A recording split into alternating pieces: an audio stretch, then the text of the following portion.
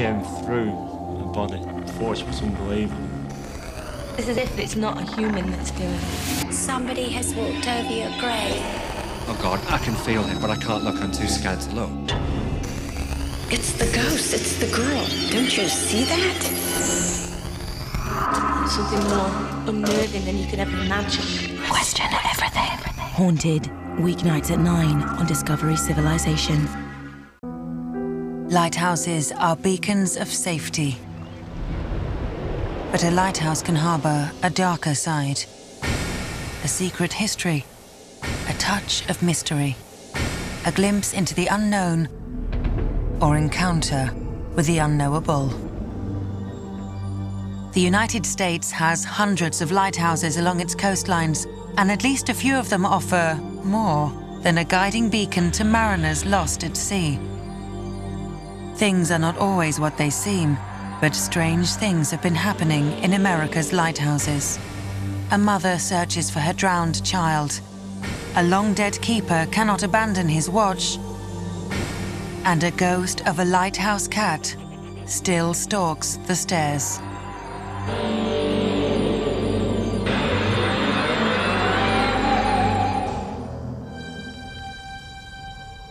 At the end of the 19th century, lighthouses were built all along the eastern and western coasts of America, particularly on the rocky, shipwreck prone shores of New England and Oregon. At the boundary of land and sea, the lighthouse is often at the boundary of the tangible and the intangible. It is no surprise that there are many mysterious tales associated with the lighthouses. At the end of the 19th century, on a remote part of the Oregon coast, Yaquina Bay Lighthouse was the scene of a mystery. Built in 1871, the lighthouse was only in operation for less than three years. It was replaced by a taller beacon, a mile to the north at Yaquina Head. The little beacon on the bay was abandoned and neglected for many years. During that time, a tragedy occurred and now the Yaquina Bay Lighthouse is said to be possessed by a spirit. The stories have been handed down through the generations by sailors, visitors, and lighthouse keepers.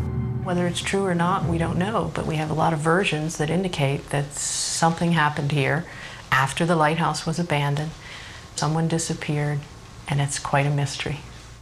The story first appeared in a magazine article in 1899 entitled the Haunted Light. And the story is dark and disturbing. In the late 1800s, 16 year old Muriel Trevenard disappeared without a trace in broad daylight at the Yaquina Bay Lighthouse. Muriel had come with her father, a sea captain, to stay with friends that summer in the tiny seashore town of Yaquina Bay.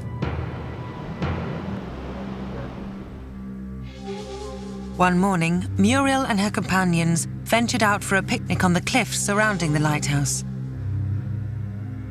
Passing the beacon, Muriel was drawn to it as though a voice inside was calling her name. But there was no voice. The lighthouse was abandoned. What happened next is completely unknown. Records from that time give us no clue as to Muriel's fate. One thing seems certain. Muriel Trevenard disappeared forever that day. Or did she? There are reports that, that her spirit still roams here. We don't know where she went bodily, what happened to her, but it seems as if it was a tragedy, whatever it was, and perhaps her spirit remains on uh, to solve that mystery. I had heard the story or the legend of Muriel. I had a friend visiting from out of state, and we were just passing through the park looking at the sights. I was driving, and we both kind of glanced up at the lighthouse up um, where the beacon is, and we saw this um, white ephemeral shape just kind of floating by the windows at the top.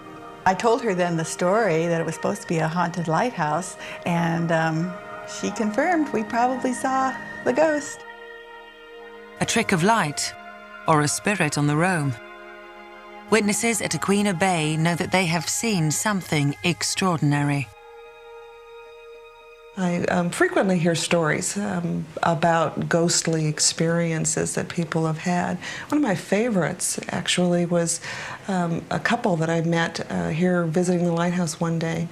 Told me the story of their daughter's wedding. Uh, they said that um, during the wedding, they had their daughter come down the stairs in her wedding gown and they took pictures. And that when they got the pictures developed, there was a ghostly image in the photo behind uh, her daughter that looked like a woman. They thought it was Muriel. I was pretty astounded that I actually got to see her. I think I saw a ghost. Over a hundred years ago, something or someone took the life of Muriel Trevenard. Her body was never recovered, and it seems today her spirit is still restless. But Muriel is not the only ghost to haunt a lighthouse in these parts. Just to the north of the Yaquina Bay beacon is the lighthouse that replaced it. Yaquina Head Lighthouse is Oregon's tallest, throwing its light almost 30 kilometers out to sea. Since it was first lit in 1873, rumors have persisted that the lighthouse on Yaquina Head is also haunted. A keeper in the 1930s wrote, Someone unseen would come in and go up the spiral stairs on certain dark nights. The keeper believed he lived with a ghost in his tower for 22 years, sometimes following close behind the phantom as it wound its way up to the lantern room. He heard it on the stairs almost every night, but never caught a glimpse of it. Since the beacon is now automated, a keeper no longer maintains the light, but staff and visitors have reported hearing unexplained sounds in the tower. Most recently, a lighthouse volunteer. I came in this morning by myself. Usually there are two of us. I heard voices, like maybe a man and a woman talking very, very softly. I was just curious, where is that sound coming from? I still don't know. Nothing was there, nothing. Nobody but me. And the voices. While some officials try to dispel the ghostly rumors, the townspeople insist they are true. They believe the spirit of an old keeper still rattles around somewhere inside the Yaquina Head Tower. I am not going to put myself in the position of saying it is haunted, but it could be. Two lighthouses on the same bay. Both beautiful, and both haunted by their pasts. Is it merely a coincidence, or are ghosts, like mariners, drawn to the powerful beacons of a lighthouse?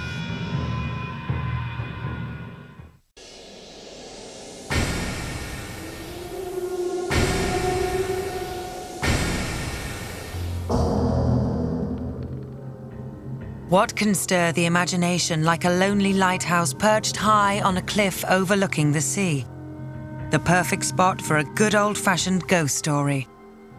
I think that people um, love ghost stories, um, and particularly lighthouse ghosts. The isolation and the lonely spots that they're typically in sort of lends itself to ghost stories getting started.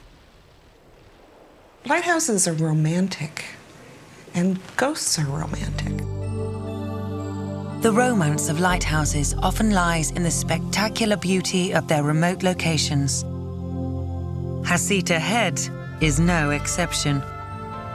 About a three hour drive from Portland, past miles of isolated beaches and a rocky Oregon coast, this remarkable lighthouse is majestic, just like the scenery itself. Heceta Head Lighthouse and Keeper's Quarters perch on top of a wedge of rock jutting out into the Pacific Ocean. Here, it isn't the lighthouse that's haunted, it's the Keeper's Quarters. The house was built in 1894 and has been restored and is now a bed and breakfast. Guests are treated to everything you might expect at an upmarket B&B, but sometimes they get more than they bargained for. Over the breakfast table, some have told stories of a strange visitor to their room, a brush with a mysterious ghost known as Rue. Rue's been here a number of years. This is the urban legend. This is folklore at best. Uh, but the, the stories have been passed down just like every other story that, that has come to be a legend. And Rue's very much uh, a part of the history of this facility here. According to the legend, uh, there was a lightkeeper's wife who uh, lost her only child. Uh, the girl drowned either in the cistern or was lost in the ocean, and uh, the mother was distraught with grief and uh, killed herself. There's actually an unmarked grave out here somewhere for the child. Some have looked, but no one knows for certain where the child is buried. I believe that this area in here uh, is where the gravesite is. Even the young girl's name is unknown. But many here believe both mother and child are an inseparable part of Heceta Head's tragic history. This is not a real old lighthouse. And people tend to think that the older a lighthouse, the more haunted it is. But this, this lighthouse is only about 100 years old. It was built in the 1890s. And it was a very difficult life for the keepers at that time because it was so isolated. It was a good uh, 15, 18 miles by a wagon road to get to any civilization. And so that sets us up for the idea of mortality.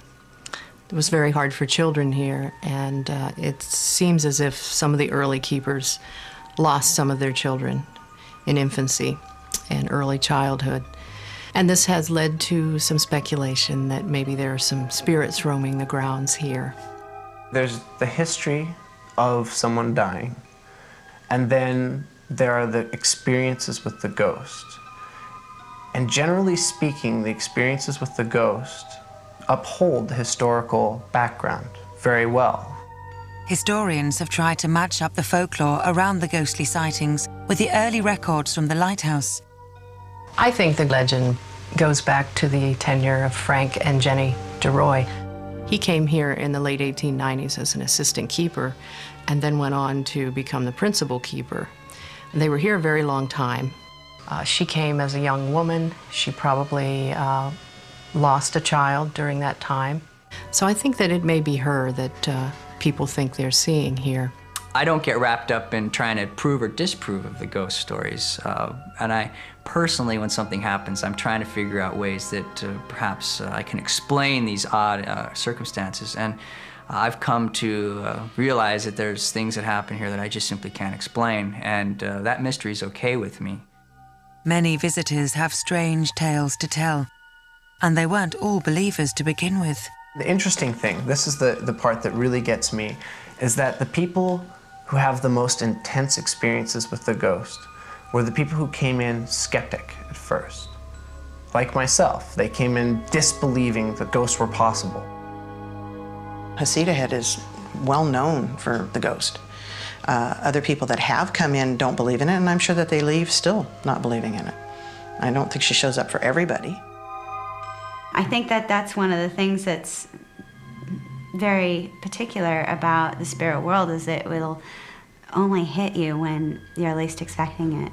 I've never seen a, an apparition or anything conventionally ghostly, uh, but there are certain times when I'll be sitting somewhere and I have, there's, there's no choice. You have to look. We've had guests who um, have had her come sit on the bed.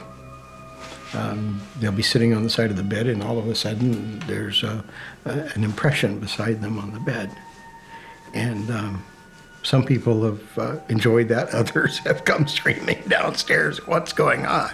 So, definitely is a spirit here. I've caught glimpses of her out of the corner of my eye. I've never faced her face on, but I've, I've felt her in the room. As I saw her, I would have swore that she was human. I would put her at the very turn of the century, the early 1900s. And I have seen her. I turned to the gentleman behind me and he said, Did you see that? And I went, Thank you, Lord, someone else saw her. She was bending over, fluffing the pillows on the bed. And she was dressed in the black, all it was an all black outfit though. She seems to be searching for something, and possibly it's it's the child she lost. or possibly the child's grave. Rue's search keeps leading back to the house where she may have once lived. She has been seen all over the house. One of my worst experiences was in the attic, and I didn't know where the light switch was at this point. I was uh, a new employee here, and I had to go up there. It was enough to make me gather my cool and walk all the way across the attic with my lighter out. You can see 15 feet across the room, and on the opposite wall was a face. And when I got there, it wasn't a face any longer. It was just the wall. There was nothing there. But I swear that first moment I saw it, there was a clear as day face staring at me. The best known sighting of her um, came when there was a workman up in the attic doing some repairs and he was at a window. This is probably where it happened in the attic, uh, perhaps at this window.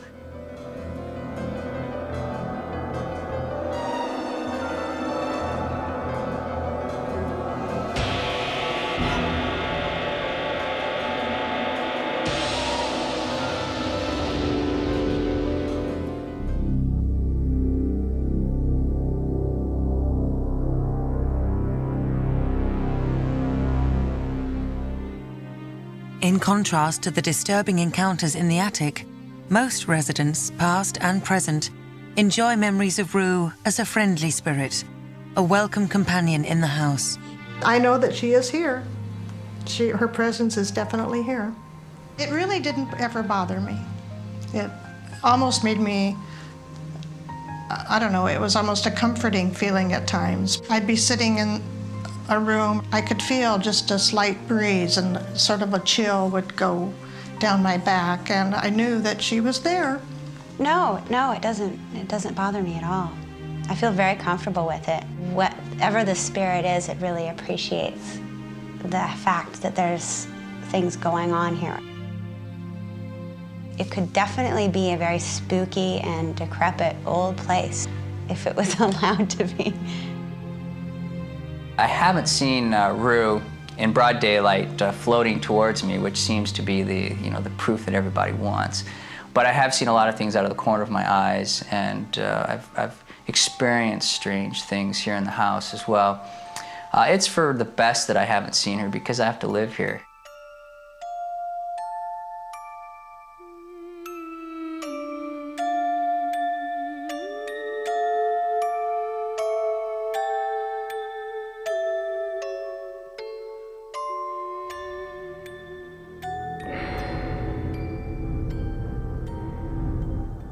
The western coast of the United States has been shaped by the forces of the Pacific Ocean.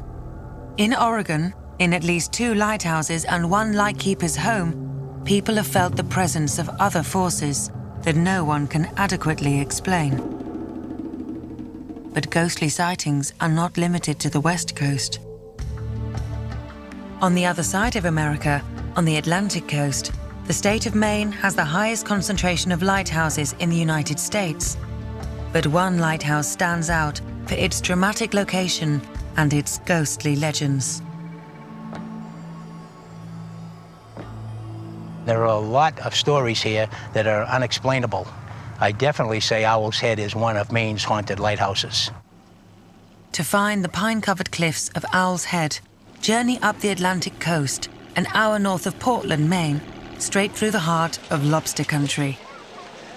On your way, plenty of lighthouses perch on the rocky shore. This is Curtis Island Lighthouse in Camden. The island is home to a wildlife refuge and bird sanctuary, but it's no refuge for ghosts. This is Marshall Point Lighthouse. The story around this town is that a murdered teenage boy is seeking revenge and is on the prowl for his assailant. But this particular ghost is not drawn to the lighthouse.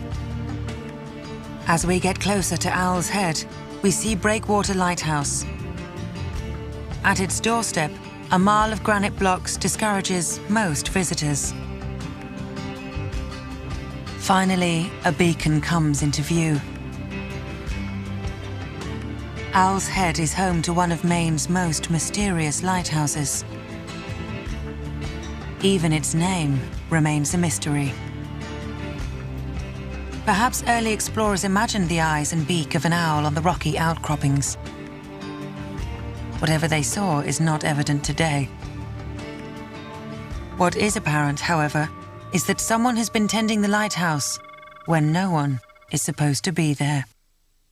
Over the years, I've had a lot of keepers tell me stories about Owl's Head. And one of them is, of course, the mystery of the footprints.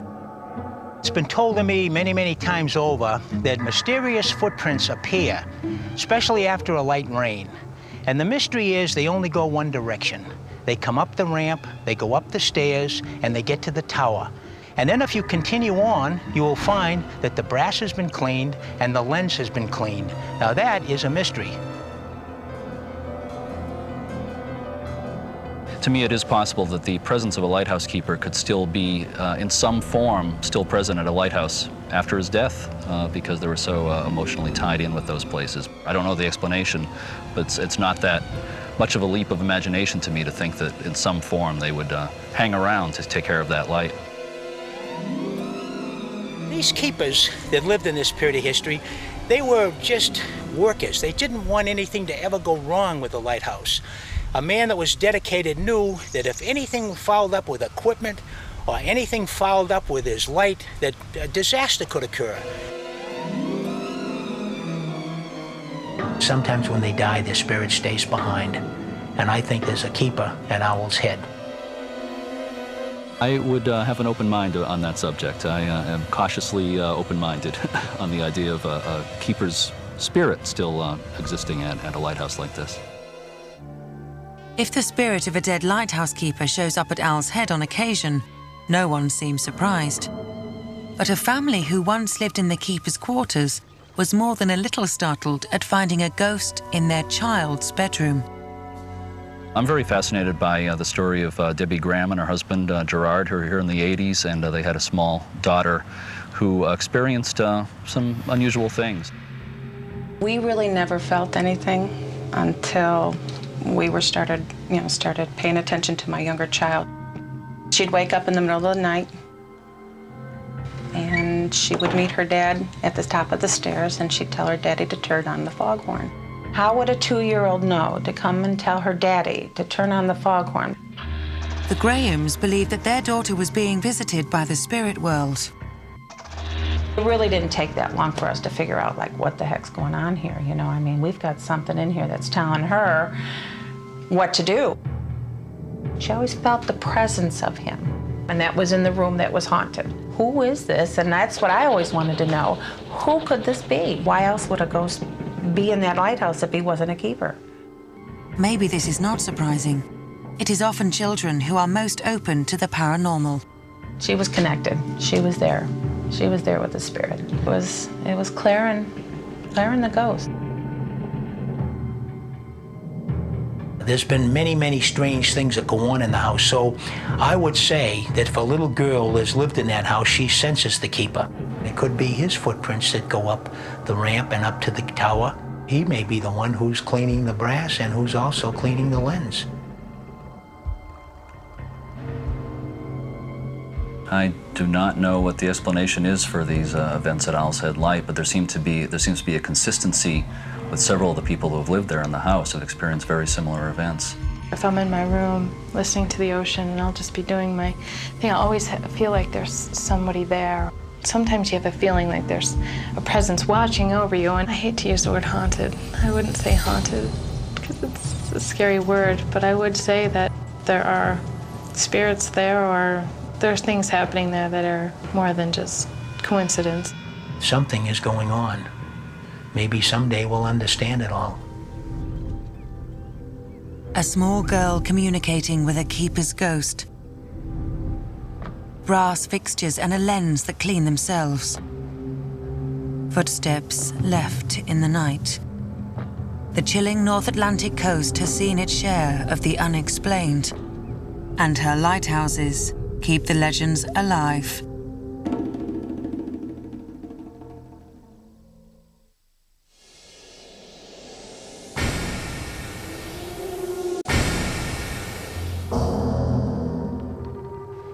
No one can say when this beacon was first suspected of being a haunted lighthouse. A little further to the north of Owl's Head, Prospect Harbour is remote, even by Maine standards. About five hours from the city of Boston, it is nestled in the craggy seacoast, just a few miles from the Canadian border. First lit in 1891, Prospect Harbour Lighthouse was established to help a large fleet of fishing boats navigate through the harbour. Today, the keeper's quarters are used as a recreational facility for United States Navy personnel. They call it Gull Cottage. And for anyone who wants to be alone, this is the place. People come a long way for the privacy. Unexpected guests almost never drop by, but sometimes strange visitors make an appearance. I would agree to speculate that the, the uh, spirit of the last lightkeeper probably exists here. If somebody does happen to hear something or see something that maybe happens without any rational, immediate explanation, don't rule it out. Many believe that the last keeper, Captain Salty, still keeps a watchful eye over his lighthouse. He's still going up at the light, whatever hour he needs to to check on something. He's still checking downstairs, doing you know whatever's involved in keeping that light on and keeping track of the of this house. He's doing it. There's not some the spirit of some disgruntled individual who's who's hanging out here, who's just waiting to do whatever. He, he very much enjoyed his job, and he sees no. He probably he may in fact see no reason to stop. He's just keeping track of the light, straight up. He's taking care of this place. He's uh, people hear things or they, they see things moving. That's who I would attribute it to. Dawn Perry manages Gull Cottage. She hears few complaints, but sometimes guests offer comments or ask questions like, What exactly is going on around here? I hear a lot of our guests comment about they heard door closing and it sounded like the closet door in the guest room or the door to the guest room. Lights coming on after they've turned all the lights off and gone to bed. Which I don't doubt that they've heard and seen these things. They're very convincing to me when they describe it. We keep journals available to our guests um, here at the cottage for them to write their thoughts and their um, experiences down, not just about the hauntings, but just in general. Captain Salty visited us last night, moving two of the statues and closing doors. You could feel his presence in the air. One sign of Captain Salty's presence is found here. He will sometimes take possession of these hand carved wooden statues. Peering out to sea from an upstairs window, they seem to have a mind of their own. They do move. I know that. Nobody seems to know when they were placed there or who carved them. I tried to find that out. They'll be looking straight ahead or out toward the ocean. Then when you wake up in the morning, they'll be turned, each one just the same amount of degrees, and they'll be looking toward shore. Janet Chanel, herself a descendant of a Prospect Harbour lighthouse keeper, was once a guest here, sharing the cottage with a friend. She said, every time we come, we line the statues back up just in case somebody has touched them. And she said, uh, they will move. When we wake up in the morning, they will move. And if a spirit that is restless in the universe plays with the figures, that's okay with me. I'm not ruling that out. Most people who have spent the night at Gull Cottage feel a very strong atmosphere in the house.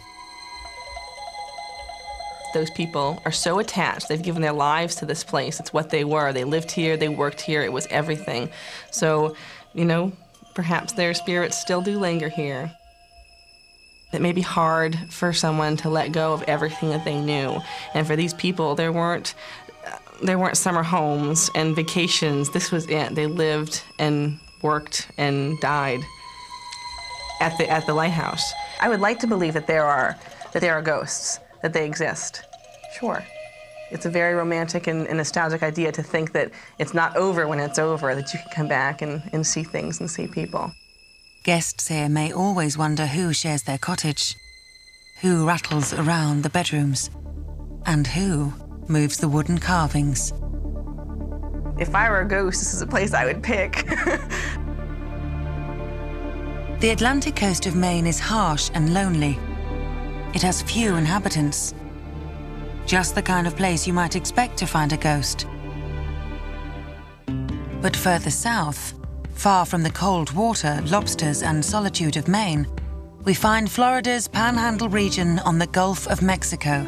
Pensacola is a busy beach town. It's also the home of the US Navy's precision flight squadron, the Blue Angels, and one of the world's largest aviation museums. Pensacola has a tall, picture perfect lighthouse. It appears normal in every respect. But in fact, it may be one of America's most haunted lighthouses. It's a real fine line between your imagination playing with you versus what is really happening. If we got a spirit or two spirits here, you know, apparently they're they're uh, benign. You know, they're not harmful. Nobody's ever been harmed. Pensacola Lighthouse has stood on duty for nearly 150 years, shining its beam 40 kilometers out to sea.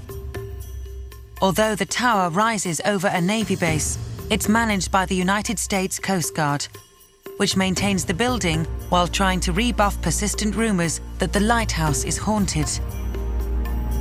Everybody likes to think that, uh, you know, just because it's as old as it is, it's been through as much history as it has, there's, there's, there's bound to be ghosts here.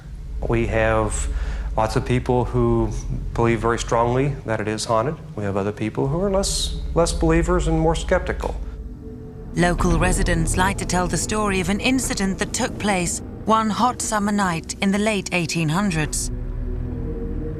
A tragedy that might be long forgotten, but for a grim reminder left behind. All I can do is tell you what my impressions were, and I do know that there was there was life and death in that room. Apparently, it was an argument that uh, occurred between a lighthouse keeper and uh, his wife. She just took a knife to him, and uh, from what I understand, it was a murder.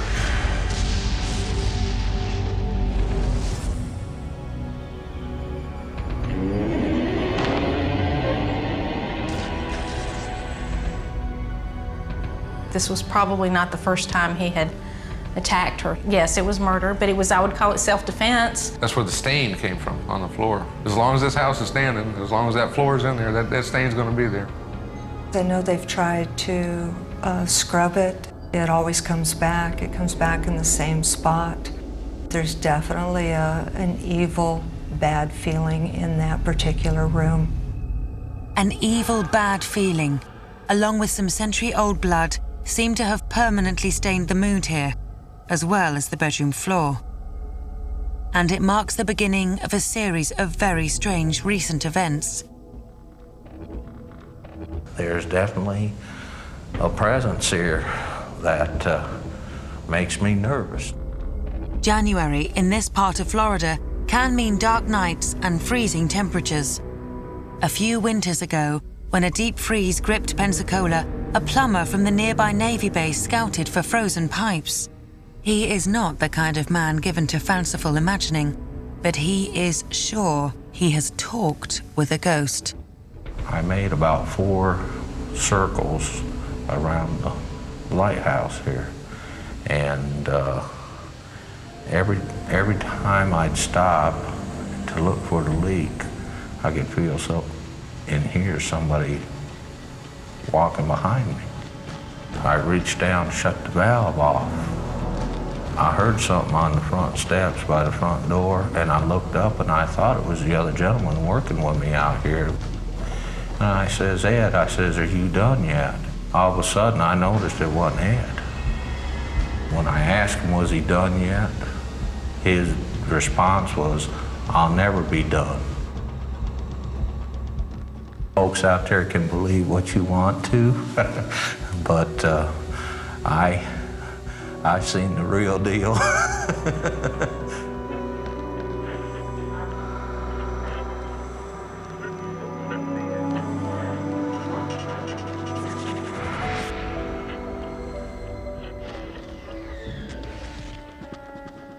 I know that this place has spirits. I can only say that now because it had to happen to me personally in order for me to believe it. It was the second Halloween that we had been conducting haunted lighthouse climbs. And um, I was standing right here in my witch's costume. Before I would start them up these stairs, I would say something like, uh, Mr. Lighthouse Keeper, don't scare these people. Um, they're just here to see the lighthouse and then they're gone. And all of a sudden, I feel on the back of my right elbow, I got three distinct taps. And of course, I turned to think maybe that somebody was there that needed my assistance, but there was nobody there. So I was touched by the ghost. But you don't need to be touched by a ghost to feel its cold chill. Early one evening, a startled young girl caught the attention of a veteran lighthouse volunteer. She and her family had seen an image of a lady in white up on the second catwalk of the lighthouse. The volunteer explained the lighthouse was locked and empty. But the young girl insisted there was someone on the tower. She seemed to think right away that it was a ghost that they had seen. Finally, when I heard footsteps myself when I was here alone, I became convinced that we really did have ghosts. On yet another night, the beacon unexpectedly went dark. An emergency call summoned the man in charge, accompanied by his wife. That night, the light was reported extinguished. We got the call and we came back. And when we came up to the door, she said we had locked somebody in. It was a man, uh, like an older man's voice, uh, a gruff voice. I said, no, there's nobody locked in there that I know of. The closer we got, the louder it was, yet my husband couldn't hear it. My main goal was just getting the light back on so the mariners could still steer by it. I said, well, there is somebody inside. They are frustrated. I can hear them, and they're not happy. We opened the door and turned on the light, and everything went silent again for her. I walked in and was just chilled, head to toe. I said, no, there's nobody. There's nobody in there. He found nothing, absolutely nothing. Sometimes I'm a doubting Thomas, and I've always, I've heard like everybody else that I've heard bumps and I've heard noises. You know, sometimes maybe uh, things I might have thought were footsteps. Things that just can't be explained. You can't put a finger on it, and I have to physically see it in front of me to believe it. But uh, still, you just can't shake that feeling sometimes. You know, it's, it's very strange. What I feel at this lighthouse, it's as if somebody's right behind me, but there's nobody there. It's kind of like somebody's whispering, somebody's chattering, but they're not there. you know, it might be a touch, it might be a tug on your clothes. Just, there's all these subtle little things, but nothing concrete, you know? Nothing concrete. But if you have a sensitive disposition, you may believe you have felt a ghost. Pensacola is an attractive beach resort with a strong military presence not the remote, windswept lighthouse setting one would imagine sighting ghosts. But spirits are everywhere, especially when the circumstances surrounding their deaths involve murder. Travel due north from Pensacola, about 2,000 kilometers, and you'll encounter another large body of water. Lake Erie is one of the Great Lakes in the northern central part of the United States, across from Canada. Here you will find the lighthouse at Fairport Harbor, Ohio. These waters can be as rough as the sea, and the need for lighthouses along the Great Lake shores was once considered equally important. It seems that no matter where they were built, there will always be lighthouse stories. I think this building is very old, and there's a lot of history here. If you start thinking back to all of the history and you know the people that lived here and what they did, um, you know, it, that might be a reason why you feel a little bit more of a presence. This is kind of like a castle, like in Europe, you know, an old castle with all the history behind it. We have our lighthouses. One of the ghosts at Fairport Harbor Lighthouse is not what you might expect. Prowling around this light station is one of the most unusual spirits you'll encounter anywhere. Do I believe in ghosts? Well, there are a lot of things that happen that are unexplained at the lighthouse, so it could be. One of the strange things that happened at this lighthouse was the discovery of a body. We were running some plumbing over to, uh, to this air conditioning system, crawled back in about three-fourths of the way in there. It was dark, you know, it was uh, a place that nobody had been for maybe 150 years. So, uh, yeah, it was, it was unusually frightening.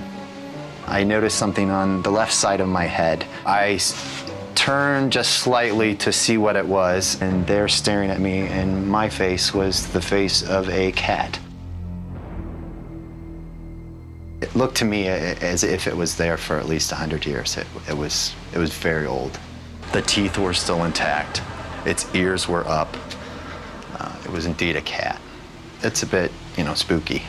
The discovery of the cat's body was initially a shock, but it made sense of some of the strange noises and sightings around the lighthouse.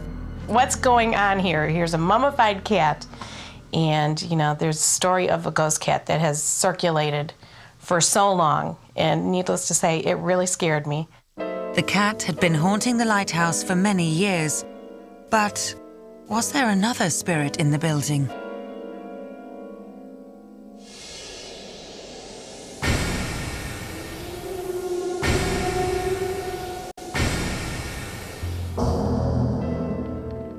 Ghosts come in a variety of shapes, sizes, and even species. Fairport Harbour Lighthouse appears to have spirits of every sort. About 20 years ago, the lighthouse took on a new curator. When Pamela Brent moved in, what she didn't know was that part of her job was to live with the unexpected. I moved in with my husband and two sons in 1987, and our basic job was to take care of the grounds and handle tours here at the, at the museum. Nobody else really ever talked about it, so there wasn't like a feeling of there was a ghost here. There wasn't anything preconceived to me that there were going to be ghosts here in any way, shape, or form. I just did not expect it. It was about a year uh, before I actually saw the cat itself. Just kind of gray and more the tail and the rear end, and it just kind of dashed in front of me, and I just kind of stopped for a minute. Thought, okay, maybe it was just something I'd, you know, I'm tired or something like that. I was coming from the boys' room and heading towards the living room, coming around the corner, and I saw the cat just right about there. Just knowing I didn't have an animal here, I was like, no, I can't be seeing this. Considering the age of the building, there had to have been spirits somehow attached to the building. And in this case, it was a cat.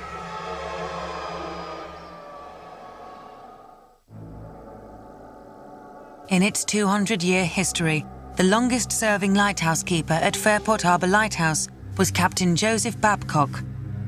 His tenure was plagued by hardship. Just months after he was appointed, Babcock's five year old son, Robbie, died in the lighthouse. Then his wife fell ill. While she was bedridden, he gave her several cats.